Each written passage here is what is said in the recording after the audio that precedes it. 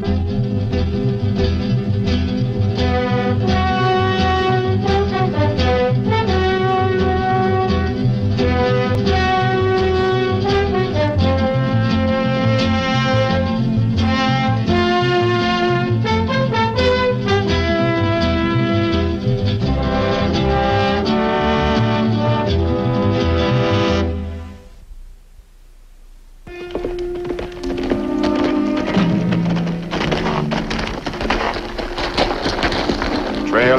right here, mister. I was told to take me right into Latigo. Nope. This is private property. Nobody crosses it without our say-so. Well, in that case, how do I get to Latigo?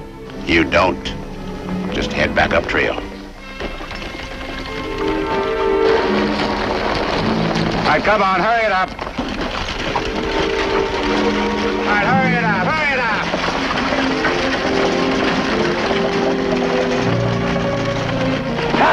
up. Hold it! Now, you slip those guns right back in the holsters real easy like. Now, get down.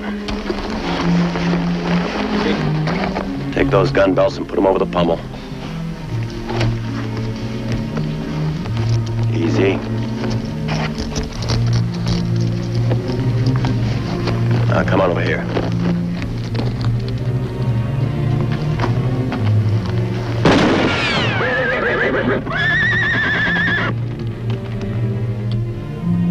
Yourself a favor, mister. Head back to Albuquerque. Like I told you, I'm heading for Latigo.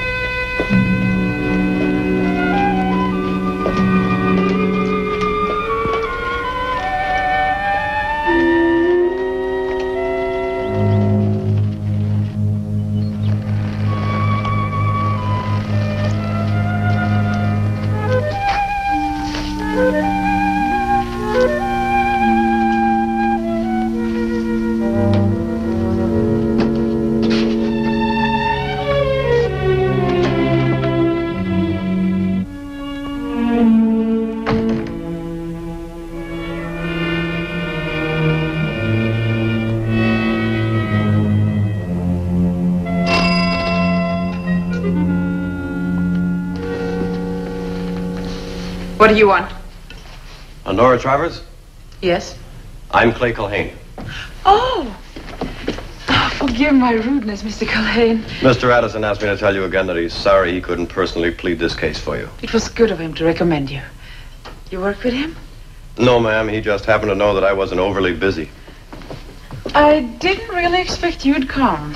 Well, didn't you get my letter? Oh, I had other letters. But the lawyers who wrote them all suddenly got very busy in Santa Fe or Albuquerque. Well, they got discouraged when they heard that the road to Latigo is closed. Are these fellows blocking the road? Are they tied in with your need for a lawyer? They're tied in. Well, like I told you in my letter, Mrs. Travers, you're my first client. Getting a chance to prove myself means an awful lot. Now, you won't regret hiring me.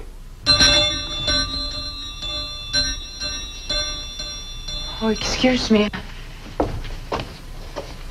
You'll want to take your horse to the livery stable, and I'll have Teresa get a room ready. We'll talk later.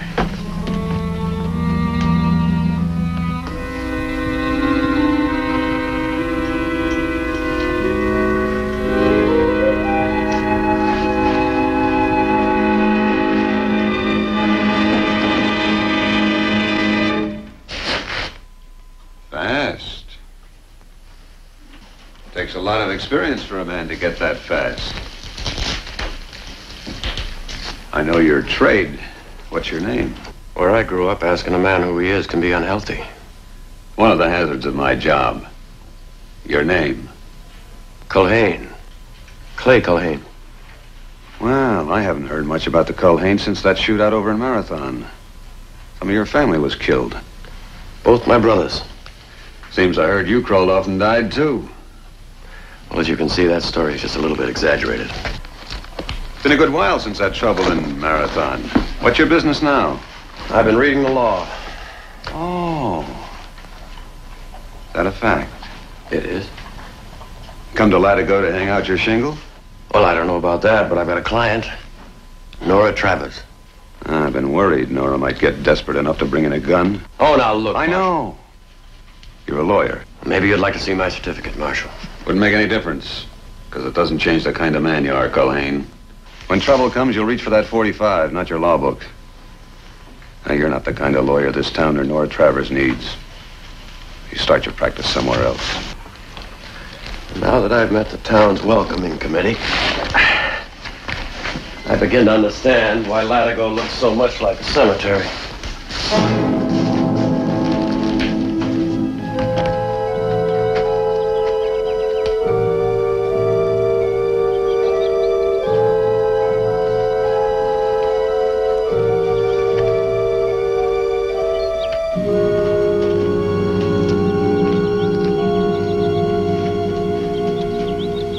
Afternoon. Just ride in from Albuquerque? That's right. You signed in as Clay Culhane. Clay Culhane. Well, I'm Hannibal Pardee. You must forgive our interest, Mr. Culhane. We don't get many visitors in Latigo. Your friend there sees to that. You mean Moss? He and another man blocked the road north of here. Tried to keep me from riding in. When was that? Oh, about an hour ago. Why, that couldn't have been Moss. He's been with me since sunup. What brings a top gun like you to Latigo, Mr. Culhane? He's a lawyer these days. A lawyer? Well, now, Marshal, I never would have guessed that. Looks more like a gunfighter. Which reminds me, Marshal, aren't you forgetting the town law about carrying guns? Any reason why Culhane should be an exception? No reason? Maybe he's about to leave. Maybe just passing through. No, I'm staying. No room in this town for short triggermen, Culhane. Give your guns to the Marshal.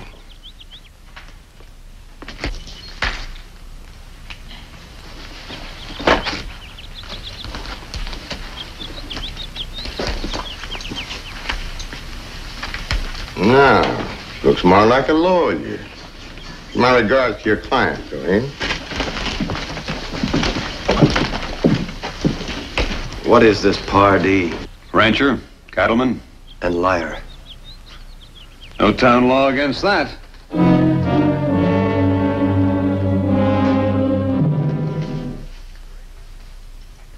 Teresa?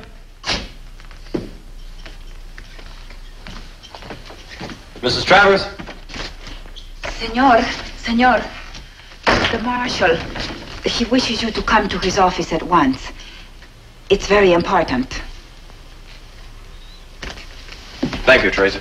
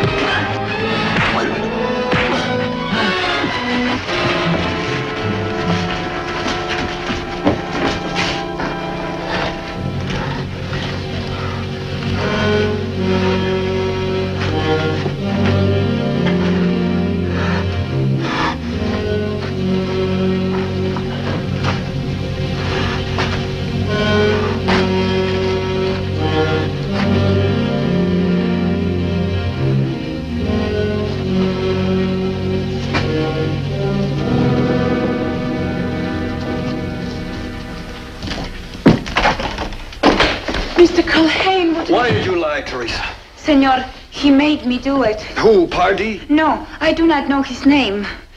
Believe me, he said they would beat me unless I did as they asked. I was afraid. Get some towels and some warm water, Teresa. All right. Why was I beaten up? I knew I shouldn't have involved you in my trouble. Anyway, it doesn't matter now. I've decided to drop the case. Look, I asked you why I was beaten up out there. Now, I'm going to get an answer to that question from somebody. And I'm going to get it whether you fire me or not. Please sit down, Mr. Culhane.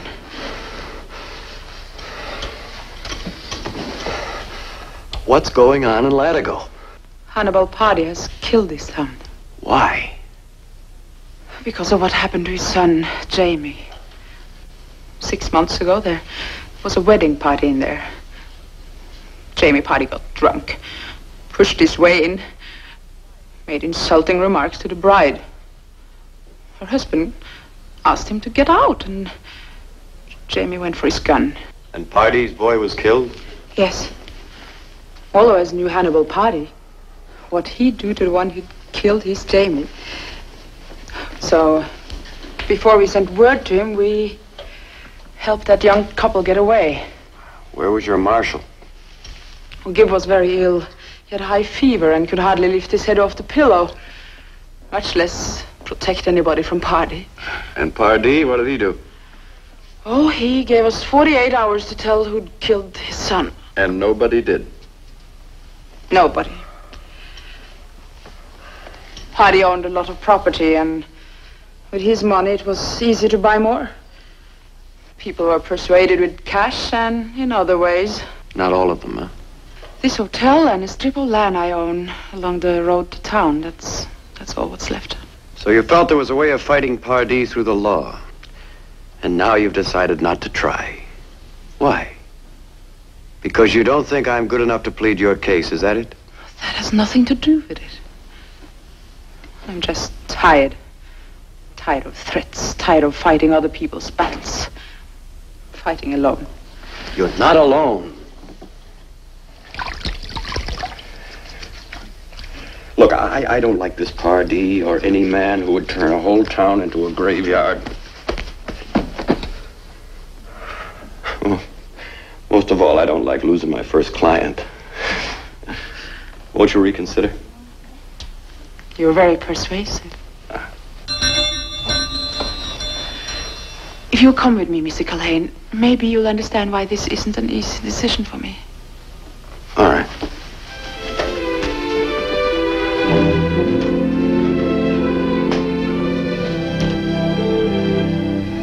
Clay Culhane? This is my father, Carl Borgen. How do you do, sir? I told him not to send for a lawyer.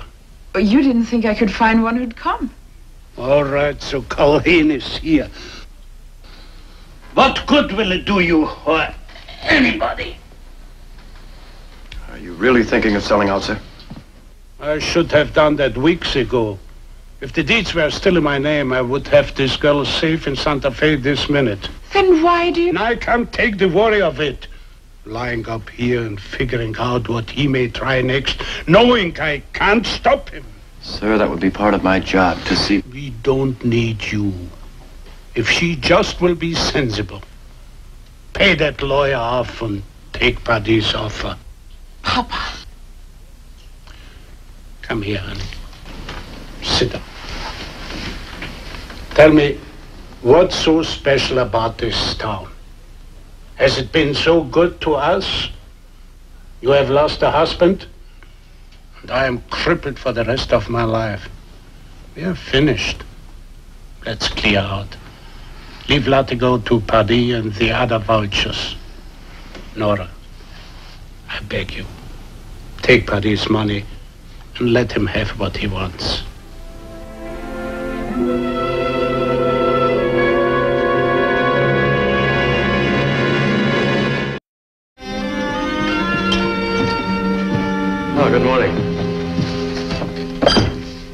You're leaving? Well, I thought that was more or less settled. Last night I... I thought about it. But I know what father feels and why he does, but... Mr. Culhane, if I were to change my mind, what would you do? Anything you want me to do. You're still my first client. I won't quit. I can't. Not as as long as there's anything at all I can do to stop Pardee. Well, I did some thinking myself last night. Just where is this strip of land you own? Oh, it follows the road to town. I can show you on a land office map.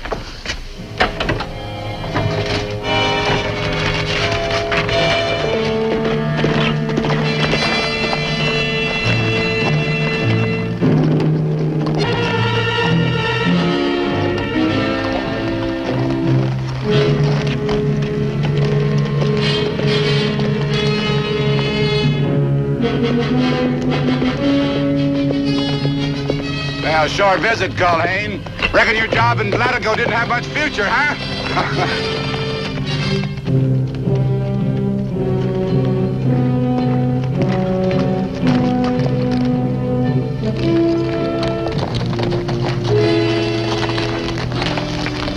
what are you trying, Culhane? I'm heading back to Latigo. Oh, no, you're not. Now, I'm on land belonging to Nora Travers. Now, I'm asking you to get out of the way and let me pass. I'll blow your head off's what I'll do. Put up your gun. You're under arrest. Take off your gun belts. You ain't got no reason to arrest us. You're guilty of forcible entry and detainer, and the marshal witnessed it. Come on. What are you talking about? This land belongs to Nora Travers. You both know it. And you used violence to prevent Mr. Culhane, her lawyer, from peaceably crossing it. You don't think Pardee's gonna let you get away with this, do you? Oh, he can fight it. In court. Come on, let's go.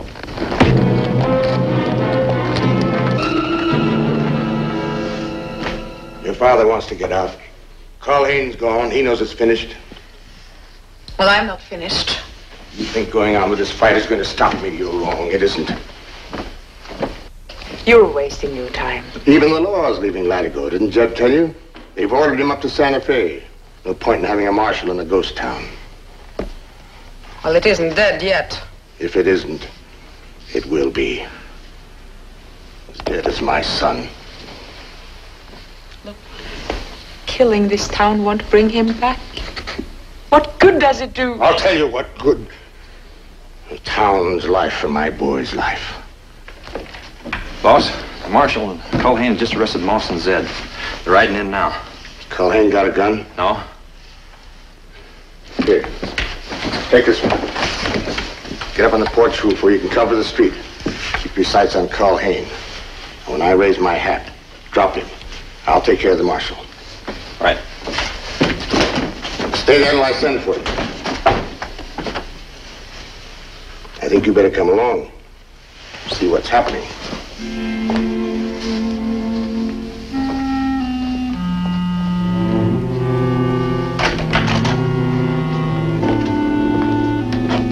Marshal.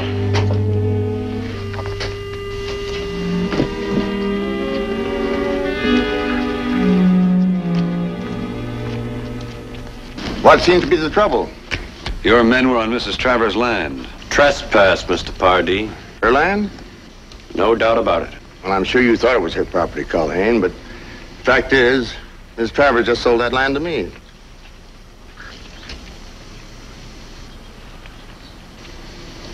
I don't think they believe me.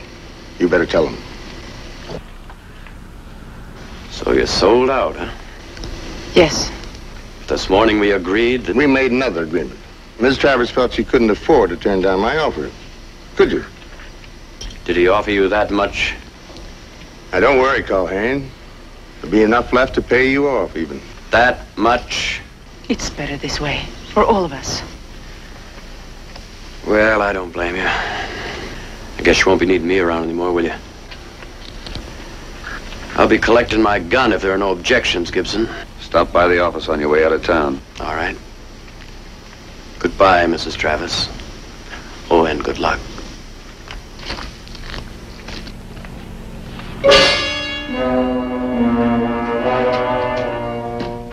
Well, Marshal, I guess there's no reason to hold Moss and Zed any longer, is there?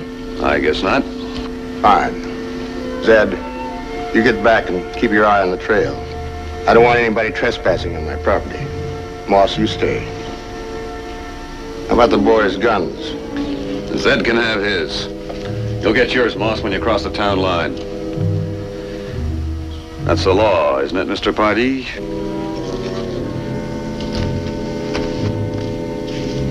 I think you'll be safer in the marshal's office. What's the matter? Why are you still here? I don't have time to explain. I want to borrow your gun. No! Give it to me. If they are shooting... Quiet.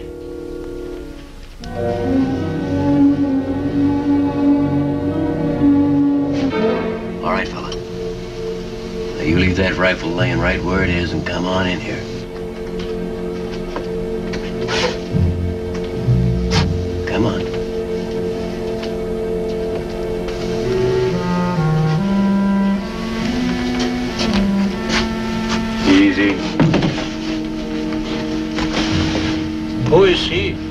Pardee's men. Sit in that chair. Wrap your arms around behind it. Cover.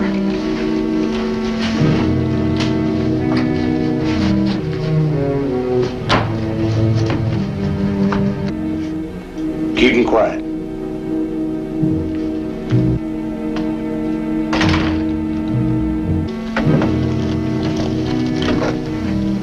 Far enough.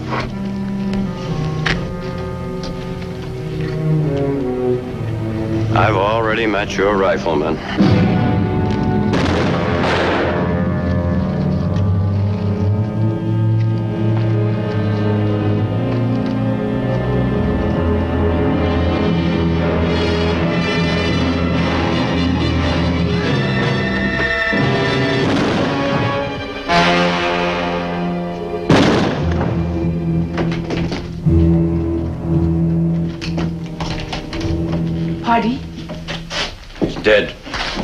He'd have been smarter to face you in a courtroom.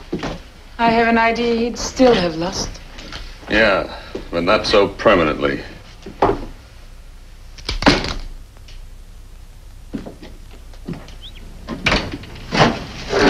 It's very quiet.